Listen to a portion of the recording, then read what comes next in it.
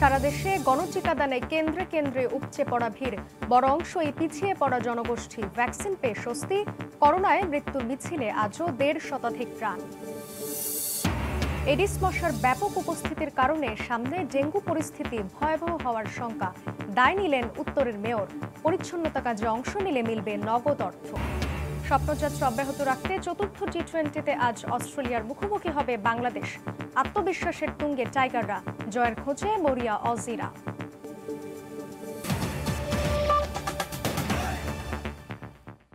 সময় সংবাদের সঙ্গে আছি আমি জান্নাতুল সাদিয়া। মাদক মামলায় রিমান্ডে থাকা চিত্রনায়িকা পরিমণির বিষয়ে এফডিসিতে বৈঠক শেষে সংবাদ সম্মেলন করছে চলচ্চিত্র শিল্পী সমিতি। সরাসরি যাচ্ছে সেখানে।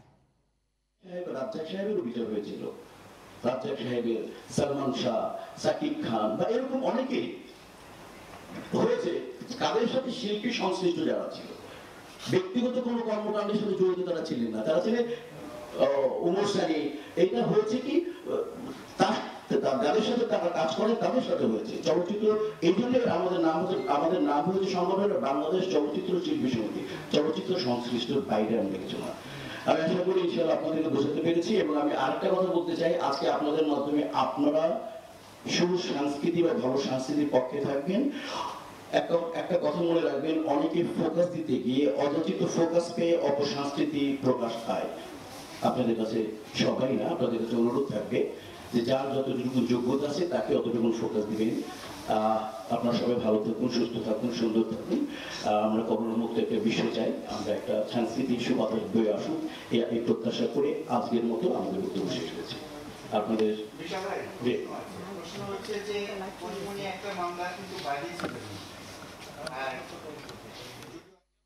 চিত্রনায়িকা পরিমণির বিষয়ে এফডিসিতে বৈঠক শেষে সংবাদ সম্মেলন করছিলেন চলচ্চিত্র শিল্পী সমিতি। আমরা তখন সরাসরি ছিলাম সেখানে। পরিমণিকে জিজ্ঞাসাবাদ করা হচ্ছে সুষ্ঠু তদন্তের মাধ্যমে তার সব অপরাধ খুঁজে বের করা হবে বলে জানিয়েছে সিআইটি তদন্তে রাঘব বোয়ালদের নাম আসলে তারাও ছাড় পাবেন না বলেও সংবাদ সম্মেলনে জানানো হয়। এদিকে মাদক মামলায় পরিমণির কস্টিউম ডিজাইনার জিমিকে তিন দিনের রিমান্ড মঞ্জুর করেছেন আদালত। আলোচিত চিত্রনায়িকা পরিমণি ও কথিত প্রযোজক নজরুল ইসলামের বিরুদ্ধে দায়ের হওয়া মাদক মামলার তদন্ত র্যাব গোয়েন্দা পুলিশ হয়ে এখন সিআইডির হাতে। কথিত মডেল মৌ ও পিয়াসার মামলার তদন্তভারও সিআইডির কাছে। রিমান্ডে নিয়ে তাদের জিজ্ঞাসাবাদ করা হচ্ছে। সংবাদ সম্মেলনে সিআইডি বলছে, চিত্রনায়িকা পরিমণির সব অপরাধের সুষ্ঠু তদন্ত করবে সংস্থাটি। তদন্তে আমরা আসলে থরলি তদন্ত করব। যে কোনো বিষয়ে আমাদের নজরে আসবে, জিজ্ঞাসাবাদে আসবে এবং মিডিয়াতে আসবে, সেগুলো আমরা পুঙ্খানুপুঙ্খ জিজ্ঞাসা করে আমরা সেগুলো সত্যিকারের যেটি ঘটনা সেটি আমরা খুঁজে বের করব। সিআইডিতে যেহেতু তদন্ত হচ্ছে, এই তদন্ত সুষ্ঠুভাবে হবে ইনশাল্লাহ এবং আমরা সত্যিকারে যদি যে দোষী বা যার যে অপরাধ আছে ততটুকু আমরা খুঁজে বের করতে পারব। আইনের ঊর্ধ্বে কেউ নয় জানিয়ে পুলিশ বলছে পরীকে জিজ্ঞাসাবাদে কোনো ভিআইপির সম্পৃক্ততা পেলে তাকেও আইনের আওতায় আনা হবে। যদি প্রভাবশালী কেউ জড়িত থাকে তো যেটি আমি বললাম যে আসলে আইনের ঊর্ধ্বে তো কেউ না। তা আমরা সেগুলো আপনার আমাদের প্রতি আস্থা রাখতে পারেন যে আমরা সেগুলো যারা সাথে সংশ্লিষ্ট আছে অপরাধের সাথে তাদেরকে আমরা তদন্তের মাধ্যমে আমরা খুঁজে বের করব। এবং আমি নিশ্চিত যে যে যত বড় শক্তিশালী হোক না কেন তাকে আমরা আইনের আওতায় আনতে সমর্থ হব। এদিকে পরিমণির পোশাক ডিজাইনার জিমির বিরুদ্ধে বনানী থানায় দায়ের হওয়া মাদক মামলায় তিন দিনের রিমান্ড দিয়েছেন আদালত। বুলবুল রেজা সময় সংবাদ ঢাকা। কঠিন চ্যালেঞ্জ আর বারবার পরিকল্পনায় পরিবর্তন আনার পর অবশেষে মাঠ পর্যায়ে বাস্তব রূপ পেল সরকারের মহা আয়োজন মহামারী কোভিড সংক্রমণ নিয়ন্ত্রণে সব শ্রেণির মানুষকে টিকার আওতায় আনতে শুরু হলো গণটিকাদান কর্মসূচি, যার বড় অংশই পিছিয়ে পড়া জনগোষ্ঠী। প্রতিটি টিকা কেন্দ্রেই ছিল উপচে পড়া ভিড়। শনিবার সকাল থেকেই মানুষের দীর্ঘ সারি। নিবন্ধন নয়, কেবল জাতীয় পরিচয়পত্র নিয়ে আসলেই মিলছে কোভিড টিকা। কঠিন চ্যালেঞ্জ নিয়ে মাঠ পর্যায়ে বাস্তব রূপ পাওয়া বিশেষ ক্যাম্পেইন শুরুর দিনে চোখে পড়ে ব্যাপক সাড়া। সরকারের এ মহা আয়োজনের লক্ষ্য ছিল প্রান্তিক পর্যায় সহ সব শ্রেণির মানুষকে টিকার আওতায় আনা। বাস্তবেও মিলেছে তার প্রতিফলন। ক্যাম্পেইনে টিকা নিতে আসা বড় একটি অংশই ছিল বস্তির বাসিন্দা নিম্নবিত্ত সহ পিছিয়ে পড়া মানুষ যাদের অনেকের কাছেই অনলাইন নিবন্ধন প্রক্রিয়া বেশ জটিল। টিকাটা নিয়ে আমার অনেক খুশি হয়েছে মানে কোনো সিরিয়াল দেওয়া লাগছে না কোনো রেজিস্ট্রেশন করা লাগছে না। সবাই তো রেজিস্ট্রেশন করতে পারে না কারণ রেজিস্ট্রেশন করতে গেলে অনেক ঝামেলা হয়। দারণে বলল যে টিকে দিতেছে স্কুলের বগল চাঙ্গা তালাকে টিকাটা দিয়ে পরে ডিউটির মধ্যে যাই। নাইট ডিউটি করছি তো? ডিউটি করে মানে ঘুমাই না চলে কোনো ঝামেলা হয়নি সুন্দরভাবে করে দিছে সহজ খুব ভালো কাজ করছে যে গণ টিকা দিয়ে। তবে টিকা প্রত্যাশীদের ব্যাপক চাপে ফিরে যেতে হয় অনেককে। যারা ওই যে সিরিয়াল ফিরে করে নিয়ে নিয়েছে তো আর নিবে না। আজকে আর পাচ্ছি না আবার কালকে সকালে সাতটা আটটার দিকে এসে যদি সিরিয়াল পাই। স্বাস্থ্য অধিদপ্তর বলছে রাজধানীতে প্রতি ওয়ার্ডে একটি করে ক্যাম্পেইন কেন্দ্রের আওতায় সপ্তাহ জুড়ে চলবে টিকা কার্যক্রম। যারা আগে বিভিন্ন কেন্দ্রে নিবন্ধন করেও এস এম এস পাননি তারাও কেবল নিজ এলাকার ক্যাম্পেইন কেন্দ্র থেকে টিকা নিতে পারবেন। আঠাইশ দিন পরে উনত্রিশতম দিনে আবার আমরা এখানে আসব এবং আমরা আবার এখানে ক্যাম্পেইন করব। সে সময় এমনও হতে পারে যে প্রথম ডোজের জন্য একটা ক্যাম্পেইন হবে আবার দ্বিতীয় ডোজের জন্য আরেকটা ক্যাম্পেইন হবে। আমরা এই টিকা কার্যক্রম ইউনিয়ন পর্যায়ে নিয়ে গেছি ওয়ার্ড পর্যায়ে। নিয়ে গেছি সচেতন করার জন্য। আঠারো হাজার কেন্দ্রে আজকে টিকা দেওয়া হচ্ছে এবং এটা চলমান প্রক্রিয়া। দিস উইল কন্টিনিউ প্রাথমিকভাবে ক্যাম্পেইনে বত্রিশ লাখ মানুষকে টিকা দেওয়ার লক্ষ্যমাত্রা নির্ধারণ করা হয়। ফারুক ভূঁইয়া রবিন সময় সংবাদ ঢাকা। এদিকে দেশের ইউনিয়ন পর্যায়ে টিকা নিতে কেন্দ্রে কেন্দ্রে প্রান্তিক জনগোষ্ঠীর ঢল নামে প্রথম দিনই উপচে পড়া ভিড়। অগ্রাধিকার পাচ্ছেন বয়স্ক ব্যক্তি, নারী ও প্রতিবন্ধীরা। ব্যুরো, জেলা ও প্রতিনিধিদের পাঠানো তথ্য ছবিতে রিপোর্ট। দেশজুড়ে প্রাণঘাতী করোনা ভাইরাসের বিরুদ্ধে লড়াইয়ের প্রস্তুতি এটি। কি বৃষ্টি আর কি দূরত্ব, সবই হার মেনেছে টিকা নিতে আসা মানুষের আগ্রহের কাছে। ভ্যাকসিন নিতে প্রতিটি কেন্দ্রে কেন্দ্রে প্রান্তিক জনগোষ্ঠীর ঢল নেমেছে। দেশের ইউনিয়ন পর্যায়ে সকাল থেকেই গণ টিকাদান কর্মসূচিতে সারা দিয়ে শত শত নারী পুরুষ ভিড় করেন টিকাদান কেন্দ্রে। উপচে পড়া ভিড়ে টিকা না পেয়ে হতাশ হয়ে ফিরে যেতে হয়েছে অনেককেই। টিকাতে এখানে দাঁড়া করেছে টিকা দিবে লাই। এখন তো দশটা টিকা দেন তাহলে আমরা কোথায় যাব? কো টিকা নাই। তবে যারা টিকা পেয়েছেন এ উদ্যোগের প্রশংসা করেছেন তারা। টিকা দিলে নিলে কি হবে নিলে কি হবে না এখন ওই জ্ঞানটা কাটে গেছে এই জন্য দিয়ে দিলাম। দাঁড়াইছি না বাড়িগুলো টিকা দিলাম। দিয়ে খুশি হয়েছি। আমরা খুব খুশি আমি টিকা দিয়েছি। সুন্দর পরিবেশে টিকা দিতে পারতাছি এতে আমরা খুবই খুশি। বিকাল তিনটা পর্যন্ত ক্যাম্পেইনের সময়সীমা থাকলেও কোনো কোনো কেন্দ্রে নির্ধারিত সময়ের আগেই টিকাদানের লক্ষ্য পূরণ হয়ে যায়। মনে করছিলাম যে কি হয়তো বা অনেকে এটা নিতে চাইবে না কিন্তু আমরা দেখছি মোটামুটি আমি তো মনে করছি সবাই উৎসাহ। প্রথম দিন বাদ পড়া ইউনিয়ন ও পৌরসভা পর্যায়ের ওয়ার্ডের টিকা দেয়া হবে আট ও নয় আগস্ট। এদিন টিকা দেয়া হবে দুর্গম ও প্রত্যন্ত এলাকায়। প্রথমে এক কোটি টিকা দেওয়ার লক্ষ্য ঘোষণা করা হলেও তা কমিয়ে বত্রিশ লাখ করা হয়েছে। সকলে যদি এই করোনা টিকা গ্রহণ করে তাহলে এই কেবলমাত্র করোনাকে আমাদের এই মোকাবেলা করা যাবে। করোনায় আক্রান্ত ও মৃত্যু ঠেকাতে চোদ্দ কোটি নাগরিককে বিনামূল্যে টিকা দেওয়ার পরিকল্পনা রয়েছে সরকারের। এখন পর্যন্ত এস্ট্রাজেনেকা মডার্না ফাইজার ও সিনোফার্মের টিকা দেওয়া হচ্ছে। লাবিব হাসান সময় সংবাদ।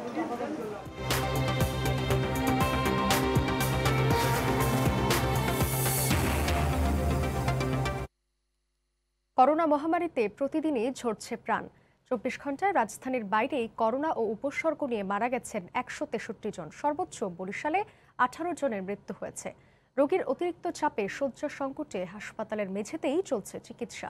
ব্যুরো প্রতিবেদক ও জেলা প্রতিনিধিদের পাঠানো তথ্য ও ছবি নিয়ে রিপোর্ট। দীর্ঘ হচ্ছে মৃত্যুর মিছিল। তীব্র শ্বাসকষ্ট নিয়ে বিভিন্ন হাসপাতালে ছুটছেন রোগীরা। অনেক ক্ষেত্রেই তাৎক্ষণিক মিলছে না আইসিইউ বেড। মেঝেতে রেখেই দেয়া হচ্ছে চিকিৎসা। গলাটা লাইট দিয়েছে মেডিকেল মেডিকেল নিয়ে আসবি মেডিকেল নিয়ে আসি তো চিকিৎসার বুঝতে পারছেন। গত চব্বিশ ঘন্টায় বরিশাল শেরি বাংলা মেডিকেল কলেজ হাসপাতালে আঠারো জনের মৃত্যু হয়েছে। এর মধ্যে পনেরো জনই মারা গেছেন উপসর্গ নিয়ে। করোনা ওয়ার্ডে অক্সিজেন সরবরাহ ও আইসিইউ বেড সংকটের কথা জানান রোগীর স্বজনরা। আইসিউর অবস্থা অবস্থা খুবই খারাপ অক্সিজেনে খুব সংকট। সিলিন্ডার আছে পর্যাপ্ত বাট মিসইউজ হচ্ছে। যার দরকার নেই সে পাচ্ছে আর মানে বেশি নিচ্ছে আর যার দরকার হচ্ছে সে কম পাচ্ছে। রাজশাহী মেডিকেলে মারা গেছেন বারো জন। মুমূর্ষু রোগীর ক্ষেত্রে আইসিইউ বেড পেতে কিছুটা বিলম্ব হচ্ছে। তবে সাধারণ শয্যায় ভর্তি রোগীরা পর্যাপ্ত চিকিৎসা পাচ্ছেন বলে জানান স্বজনরা। করোনা রোগীর প্রচুর পরিমাণে চাপ। বেড আছে কিন্তু আইসিইউতে চাপ অনেক। ময়মনসিংহ মেডিকেল কলেজ হাসপাতাল ও চাঁদপুরে মারা গেছেন বারো জন করে। উপসর্গ সহ নানা জটিলতায় হাসপাতালে ছড়ছেন রোগীরা। রোগীরা যদি সচেতন না হয়, আমরা যতই আইসিউ সেবা দেই, যতই আমরা অক্সিজেন প্ল্যান দেই আমাদের পক্ষে এই চাপ সামাল দেওয়া সম্ভব হবে না। কুষ্টিয়ায় কিছুটা কমেছে করোনায় মৃত্যু ও আক্রান্তের হার। গত চব্বিশ ঘন্টায় নয় জন মারা গেছেন। চট্টগ্রামেও মারা গেছেন আট জন। লাঞ্চের ফিফটি পার্সেন্ট বেড নাই এখানে নিচে এছাড়া করোনা আক্রান্ত ও উপসর্গ নিয়ে খুলনা ও বগুড়ায় নয় জন করে ফরিদপুর ও নেত্রকোনায় আটজন করে এবং দিনাজপুর ও চুয়াডাঙ্গায় সাতজন করে মারা গেছেন। সাবিত সারওয়ার সময় সংবাদ। ডেঙ্গু প্রসঙ্গ। রাজধানীতে এডিস মশার ব্যাপক উপস্থিতির কারণে সামনের দিনে ডেঙ্গু পরিস্থিতি আরও ভয়াবহ হতে পারে এমন আশঙ্কা বিশেষজ্ঞদের। এদিকে ডেঙ্গু আক্রান্ত হয়ে মৃত্যুর দায় সিটি কর্পোরেশন এড়াতে পারে না বলে মন্তব্য করেছেন ঢাকা উত্তর সিটির মেয়র। এ অবস্থায় এডিসের বিরুদ্ধে সামাজিক আন্দোলনের ডাক দিয়ে তিনি বলেন, পরিষ্কার পরিচ্ছন্নতা অভিযানে অংশ নিলেই মিলবে টাকা। চলতি বছর এডিসের দাপট শুরুর দিকে কম থাকলেও জুলাই মাসে ধীরে ধীরে তা বাড়তে থাকে। গেল মাসে শনাক্ত হওয়া মোট রোগীর সংখ্যার অর্ধেকেরও বেশি শনাক্ত হয় চলতি মাসের প্রথম সপ্তাহে। নড়েচড়ে বসে দুই সিটি, মাঠ পর্যায়ে এডিসের লার্ভা ধ্বংসে চিরুনি অভিযান, ওষুধ ছিটানোর মতো কর্মসূচি হাতে নেওয়া হয়। সবশেষ প্রতি শনিবার সকাল দশটা দশ মিনিটে নিজ নিজ বাসা পরিষ্কারের আহ্বান জানান উত্তর সিটির মেয়র। বিশেষজ্ঞরা বলছেন, এখনও মাঠ পর্যায়ে এডিস মশার যে ঘনত্ব, তাতে যে কোনো সময় ডেঙ্গু ভয়াবহ আকার ধারণ করতে পারে। তাই ওয়ার্ড পর্যায়ে দ্রুত কমিটি করে কর্পোরেশনের সঙ্গে সমন্বয় করতে হবে। এখনও আমরা মাঠ পর্যায়ে যে এডিস মশার ঘনত্ব পাচ্ছি, সেটি ডেঙ্গু ছড়ানোর জন্য উপযোগী মাত্রা। এই মুহূর্তে প্রতিটি মহল্লাতে মহল্লা কমিটি করে তরুণ সমাজসেবকদেরকে যুক্ত করে সেই কমিটির সাথে সিটি কর্পোরেশনের মশক নিধন কর্মী বিশেষ করে লার্ভিসাইড স্প্রেম্যান এবং ফগিং মেশিনের স্প্রেম্যান এবং একজন ক্লিনার যুক্ত করে দিয়ে প্রতিটি মহল্লায় চিরুনি অভিযান পরিচালনা করা উচিত। এদিকে শনিবার সকালে নিজ অফিস পরিষ্কার পরিচ্ছন্নতা কার্যক্রমে অংশ নেন উত্তর সিটির মেয়র। পরে গণমাধ্যম কর্মীদের বলেন উত্তরের পঁয়ষট্টি শতাংশ নির্মাণাধীন বাড়িসহ বিভিন্ন স্থানে এডিসের লার্ভা রয়েছে। আমি কিন্তু দায় এড়াতে পারব না। এটাই বাস্তবতা। আমি আমি নিব না কেন অবশ্যই আমাকে নিতে হবে। আমার জন্যই কিন্তু আমি চেষ্টা করে যাচ্ছি। দায় এবং দায়িত্বশীলতা দুটোকে নিয়েই কিন্তু আমাদের কাজ করতে হবে। প্রায় ষাট থেকে পঁয়ষট্টি পার্সেন্ট কনস্ট্রাকশনের বাসা বাড়িতে আমরা এই লার্ভাটা দেখতে পাচ্ছি। প্রত্যেকটি ওয়ার্ডে ওয়ার্ডে দশটি করে কমিটি অলরেডি করতে বলা হয়েছে। অব্যবহৃত টায়ার ফুলের টব ডাবের খুলি ইত্যাদিতে পানি জমে থাকে এমন জিনিসপত্র সিটি কর্পোরেশনে জমা দিলে নগদ অর্থ দেয়া হবে বলে জানান মেয়র। তোহা খান তামিম সময় সংবাদ ঢাকা। আওয়ামী লীগের সাধারণ সম্পাদক ওবায়দুল কাদের বলেছেন শিক্ষার্থীদের সুরক্ষার জন্যই সরকার করোনাকালে শিক্ষা প্রতিষ্ঠান বন্ধ রেখেছে। জাতীয় শোক দিবস উপলক্ষে সকালে আইটিবি মিলনায়তনে ডিপ্লোমা ইঞ্জিনিয়ার্স ইনস্টিটিউট আয়োজিত আলোচনা সভায় ভার্চুয়ালি যুক্ত হয়ে তিনি একথা বলেন। এ সময় শিক্ষা প্রতিষ্ঠান খুলে দিতে বিএনপির দাবির সমালোচনাও করেন ওবায়দুল কাদের। বিএনপি নেতারা এক হাস্যকর এবং দায়িত্ব জ্ঞানহীন অভিযোগ করেছেন, সরকার নাকি ষড়যন্ত্র করে শিক্ষা ব্যবস্থাকে পিছিয়ে দিচ্ছে। লাখ লাখ শিক্ষার্থীদের সংক্রমণের মুখে ঠেলে দেওয়ার মতো অপরিণামদর্শী প্রস্তাবের পেছনে ভিন্ন কোনো ষড়যন্ত্র আছে কিনা খতিয়ে দেখা দরকার। শিক্ষিত হয়ে কি হবে যদি আমি বাঁচতেই না পারি? সময় মতো শিক্ষা প্রতিষ্ঠান খুলে দেওয়া হবে। আমাদেরকে বাস্তবমুখী পদক্ষেপ নিতে হবে, কর্মসূচি নিতে হবে। আওয়ামী লীগের উপদেষ্টা মণ্ডলীর সদস্য ও চোদ্দ দলের সমন্বয়ক আমির হোসেন আমু বলেছেন, বঙ্গমাতা শেখ ফজিলাতুন্নেসার কারণেই শেখ মুজিবুর রহমান বঙ্গবন্ধু হয়ে ওঠেন। সংসার ও সন্তানদের আগলে রাখার পাশাপাশি বঙ্গবন্ধুর রাজনৈতিক জীবনেও নানাভাবে সহযোগিতা করেছেন তিনি। বঙ্গমাতা শেখ ফজিলাতুন্নেসা মুজিব পরিষদ আয়োজিত ভার্চুয়াল আলোচনা সভায় একথা বলেন তিনি। বাঙালি জাতি বিভিন্ন সময় বিভিন্ন রকম প্রচেষ্টা চালিয়েছে। কোনোদিন তারা স্বাধীনতা অর্জন করতে পারেনি। বঙ্গবন্ধুর মাধ্যমে এটা সম্ভব হয়েছিল। ফজিলুদ্দিনার মতো একজন মহিলা বঙ্গবন্ধুর সহধর্মিনী হয়েছিলেন যেই কারণে তিনি বঙ্গবন্ধু হতে পেরেছেন। একজন নারী, একদিকে তিনি সংসার জীবনেও কোনো রকম গাফিলতি করেন নাই। পাশাপাশি বঙ্গবন্ধু যে রাজনৈতিক লক্ষ্য, উদ্দেশ্য, আদর্শ, সেটাকে বাস্তবায়ন করার জন্য যা কিছু করা প্রয়োজন, নিজের গয়না বিক্রি করেও টাকা দেয়া থেকে শুরু করে সর্বরকম সহযোগিতা করতে তিনি কোনোদিন কার্পণ্য করেননি। সংবাদে আরও থাকছে। সমুদ্রে ঝাঁকে ঝাঁকে ধরা পড়ছে ইলিশ। হাঁক ডাকে মুখর বরগুনার পাথরঘাটা মৎস্য অবরণ কেন্দ্র। বেচা কেনায় জেলে আড়তদারদের ব্যস্ততা।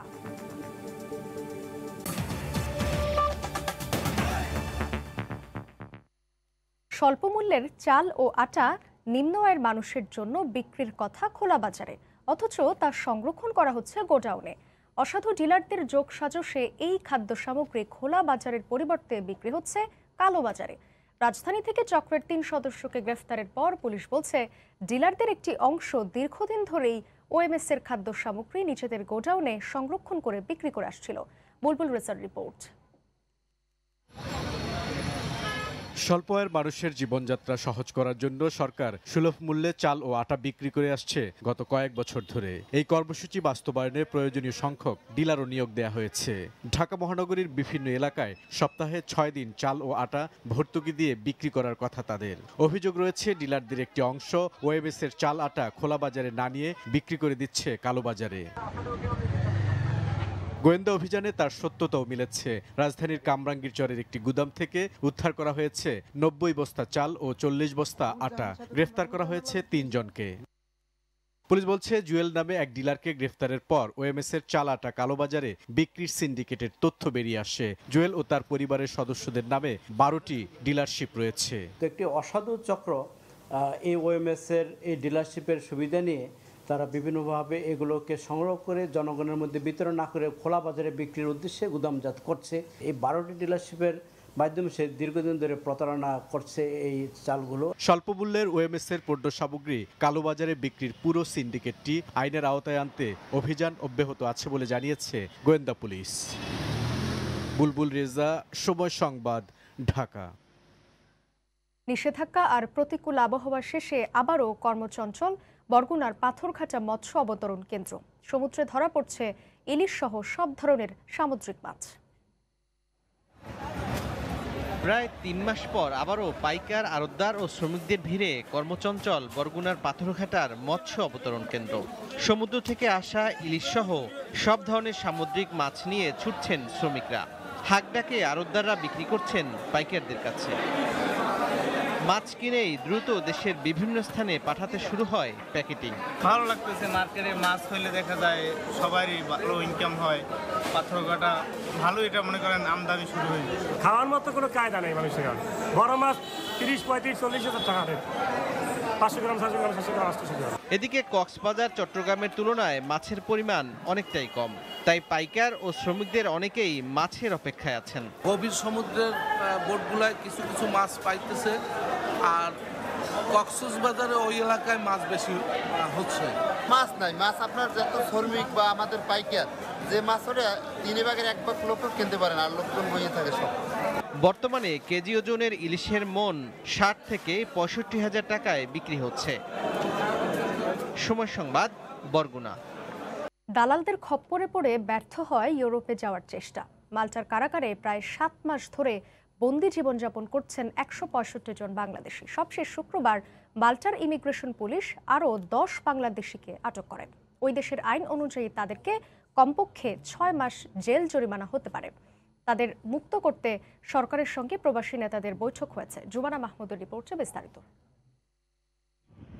ভূমধ্যসাগর পাড়ি দিয়ে ইউরোপে প্রবেশকালে মাল্টার জলসীমা থেকে প্রায় সাত মাস আগে গ্রেপ্তারকৃত একশো পঁয়ষট্টি জন বাংলাদেশি এখনও মাল্টার কারাগারে বন্দী। তারা রাজনৈতিক আশ্রয় প্রার্থনা করে ব্যর্থ হয়েছেন। আপিলেও খারিজ হয়েছে তাদের আবেদন। এতে অনিশ্চয়তায় পড়েছে তাদের ভবিষ্যৎ।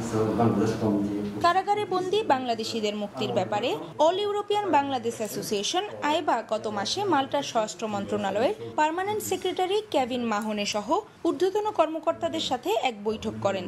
ওই বৈঠক সফল হয়েছে উল্লেখ করে সংগঠনের মহাসচিব কাজী এনায়েতুল্লাহ আটককৃত বাংলাদেশিদের মুক্তির ব্যাপারে আশা প্রকাশ করেন। যারা এখন বন্দী আছেন মালটারি কারাগারে তারা নিশ্চিত থাকেন আপনার তাদের বের করার জন্য আমরা সর্বশ্রেষ্ঠ সর্বোচ্চ প্রচেষ্টা করব। এ বিষয়ে সংগঠনটি মাল্টায় এক সংবাদ সম্মেলনের আয়োজন করে।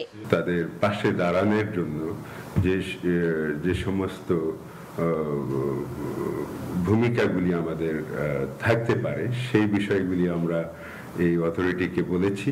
আমাদের আয়বার পক্ষ থেকে একজন বিজ্ঞ আইনজীবী নিয়োগ দেওয়া হয়েছে উনি এই ব্যাপারটা নিয়ে কাজ করছেন।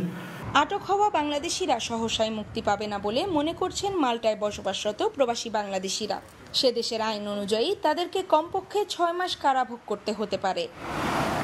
একটি দালাল চক্রের মাধ্যমে গ্রেফতারকৃতরা পাকিস্তানি ভুয়া পাসপোর্ট এবং ভিসা নিয়ে ইতালি পাড়ি জমানোর চেষ্টা করছিল।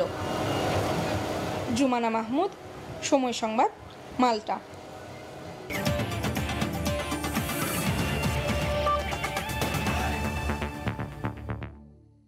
বাংলাদেশ অস্ট্রেলিয়া সিরিজের খবর। ঐতিহাসিক সিরিজ জয়ের পর স্বপ্নযাত্রা অব্যাহত রাখতে আজ চতুর্থ টি টোয়েন্টিতে অস্ট্রেলিয়ার মুখোমুখি হবে বাংলাদেশ। এই মুহূর্তে মিরপুর শেরেবাংলা জাতীয় স্টেডিয়ামে আছেন সহকর্মী মাহবুব রিমন ও নিয়ন মোহাইমিন। দু দলের সবশেষ খবর জানতে সরাসরি যাচ্ছে তাদের কাছে। সাদিয়া মাত্র চার দিনের ব্যবধানে কিন্তু উল্টে গেল পাশার দান। অর্থাৎ গেল চার দিনে তিনবার মাইটি অস্ট্রেলিয়ার যে অহম, সেটা কিন্তু একেবারে মাটিতে মিশে গেছে। এবং আজ কিন্তু চতুর্থ ওয়ানডে চার দিন আগেও কিন্তু আসলে আমাদের আলোচনার বিষয় ছিল কি হবে সিরিজের ফলাফল। এখন কিন্তু আলোচনার বিষয় শেষ পর্যন্ত কি বাংলা ওয়াশ হবে। সহকর্মী নিয়ন মহিমিন সকাল থেকে রয়েছেন মিরপুর হোম অফ ক্রিকেটে। নিয়ন, আপনার কাছে জানতে চাইব আবহাওয়া সহ সারাদিন আপনি আসলে কি দেখলেন? রিমন, প্রথম থেকে প্রথমেই আপনি যেটা বলছিলেন যে মাইটি অস্ট্রেলিয়ার অহমটা আসলে মাটিতে একেবারে চূর্ণ হয়ে গেছে। অর্থাৎ প্রথম থেকেই এই সিরিজের শুরু থেকে একটা আলোচনায় ছিল, বাংলাদেশ আসলে কটা ম্যাচ জিততে পারবে? মানে জেতার চান্স কতটা আছে? আর এখন বাংলাদেশ এসে দিন গুনছে যে কখন আমরা হোয়াইট ওয়াশ করব অস্ট্রেলিয়াকে। মানে পুরো পাশার দানটা এখন ঘুরে গেছে। আর সকাল থেকে যদি আমি বলি যে চতুর্থ টি টোয়েন্টি সকাল থেকে আমরা এখানে উপস্থিত ছিলাম এবং সকাল থেকে পুরো ওয়েদারটা দেখেছি যে বদলে গেছে। অর্থাৎ সকালে যখন এসেছি বারোটা একটার সময় তখন কিন্তু ওয়েদার এখানে পুরোপুরি রৌদ্রোজ্জ্বল ছিল এবং দুটোর পর থেকে এখানে প্রচণ্ড বৃষ্টি শুরু হয় এবং আকাশ মেঘলা ছিল। আমি তখনও হ্যাঁ আকাশ অনেকটাই মেঘলা এবং গতকালকেও কিন্তু একই রকমের একটা ওয়েদার ছিল। ঝিরিঝিরি বৃষ্টি ছিল কিন্তু আজ সেই বৃষ্টিটা নেই। তো এখন যদি ওয়েদারের কথা দেখছেন আপনিও দেখছেন ওয়েদারটা এখন বেশ ভালো। মানে ক্রিকেটের জন্য একেবারে উপযোগী আমার যেটা মনে হচ্ছে। যেমন কিছুক্ষণ আগে থেকে আমরা দেখলাম একাডেমি মাঠে ম্যাথু ওয়েট সহ বেশ কয়েকজন অজি ক্রিকেটার অনুশীলন করেছেন স্পিনের বিরুদ্ধে। যেই রহস্য সমাধান হয়নি আজকেই হবে আপনার কি মনে হয়? মনে হয় না, কারণ আজকে বাংলাদেশের স্কোয়াডে হয়তো বা এক দুটা পরিবর্তন হবে, এবং সেখানে যে স্পিন ভেলকিটা বদলে যাবে তা কিন্তু না, কারণ আপনি জানেন যে আমাদের স্কোয়াডে স্পিনার যে কয়জন আছেন, তারা সবাই খেলছিলেন, তারা এখনও খেলবেন। একটা পরিবর্তন নিয়ে একটু আলোচনা চলছে যে সৌম্য সরকারকে হয়তো বা ড্রপ করা হবে, কিন্তু তার জায়গায় আসলে কাকে নেওয়া হবে, সেটা নিয়ে একটা সন্দেহ আছে। অনেকে বলছেন মোহাম্মদ মিঠুন হয়তো বা ওপেনিংয়ে স্লটে সৌম্যর জায়গায় আসতে পারেন, আবার অনেকে বলছেন যে না, সেখানে সাইফুদ্দিন আসবেন, এবং শেখ মেহেদিকে প্রমোট করা হবে ওপেনিংয়ে তো এটা নিয়ে একটা আর কিছুক্ষণ পরে আসলে টস মানুষ জেনে যাবে যে আসলে কি হতে যাচ্ছে। তবে অস্ট্রেলিয়ার জন্য যে নাকানি চুবানি যে অস্ট্রেলিয়াকে খাওয়ানো হয়েছে, যে স্পিন দিয়ে আমাদের যে বাঁহাতি স্পিন বা স্লো পিচের যে কারিশমা, সেটা থেকে মনে হয় না অস্ট্রেলিয়া আজকেও বাঁচতে পারবে। আপনার কি মনে হয় কিছুক্ষণের মধ্যে আসলে টস হবে? উত্তরটা জানা যাবে। এরপরও টস জিতে এর আগে আমরা দেখেছি যে বাংলাদেশ দুটো ম্যাচ আসলে আগে ব্যাট করে জিতেছে, একটি ম্যাচ পরে ব্যাট করে জিতেছে। আজকে আসলে বাংলাদেশের করণীয়টা কি হবে? টস আসলে বাংলাদেশের জন্য এখন পর্যন্ত আমার মনে হচ্ছে টস ভাগ্যটা বাংলাদেশের জন্য একেবারে সাপে বর হয়েছে। টস বাংলাদেশ হেরেছে, হারার পরে বাংলাদেশ যখন ব্যাটিং করেছে, সেখানেও বাংলাদেশ ভালো করেছে। টস জিতে বাংলাদেশ ব্যাটিং ফিল্ডিং যেখানেই যেটা করেছে, সেখানেই আসলে সাকসেসফুল এসেছে। মানে আজকে আসলে টস জেতার উপরে এখন আর মনে হয় না যে টস ভাগ্যটা খুব বেশি ভ্যারি করবে। এখানে টসে জিতলে বাংলাদেশ আজকেও হয়তো বা ব্যাটিং করবে, কারণ পরের দিকে আসলে ব্যাট করাটা আরও বেশি টাফ হয়ে যায়। স্লো পিচ আপনি জানেন যে বাংলাদেশের পিচগুলো এতটাই স্লো হয়ে যায় শেষ দিকে, তখন ওই শেষের চার পাঁচ ওভারে বোলিং করা খুব টাফ যেটা মানে ব্যাটিং করা মূলত আর তার বিপরীতে যদি মুস্তাফিজের মতো বোলার থাকে, তাহলে আপনার জন্য খুবই টাফ তো সেক্ষেত্রে আমার মনে হয় যে আজকেও বাংলাদেশ যদি টসে জিততে পারে, বাংলাদেশ প্রথমে ব্যাট করারই সিদ্ধান্ত নেবে। নিয়ন, ইতিমধ্যে কিন্তু টসও হয়ে গেছে। আপনার কি মনে হয় আসলে তো নিয়ন আমরাও আসলে আপনার মতো প্রত্যাশা করছি বাংলাদেশ দল আজকেও তাদের যে জয়যাত্রা সেই জয়যাত্রা অব্যাহত রাখবে। দর্শক মাইটি অস্ট্রেলিয়ার পরে কিন্তু নিউজিল্যান্ড আসবে এবং বিশ্বকাপ সামনেই রয়েছে। তো আশা করব আজও বাংলাদেশ তাদের জয়টা ধরে রাখবে। এই ছিল আমার কাছে মিরপুর রহমান ক্রিকেট থেকে সবশেষ। সাদিয়া। মিরপুর থেকে যুক্ত ছিলেন সহকর্মী মাহবুব রিমন ও নিয়ন মোহাইমিন। এ পর্যায়ে শীর্ষ সংবাদ জানিয়ে দিচ্ছি আরেকবার। সারা দেশে গণটিকাদানে কেন্দ্রে কেন্দ্রে উপচে পড়া ভিড়, বড় অংশই পিছিয়ে পড়া জনগোষ্ঠী। ভ্যাকসিন পেয়ে স্বস্তি, করোনায় মৃত্যুর মিছিলে আজও দেড় শতাধিক প্রাণ। এডিস মশার ব্যাপক উপস্থিতিতে ডেঙ্গু পরিস্থিতি মারাত্মক হওয়ার শঙ্কা, দায় নিলেন উত্তরের মেয়র। পরিচ্ছন্নতা কাজে অংশ নিলে মিলবে নগদ টাকা। এ ছিল এখনকার মতো সঙ্গে থাকুন সময়।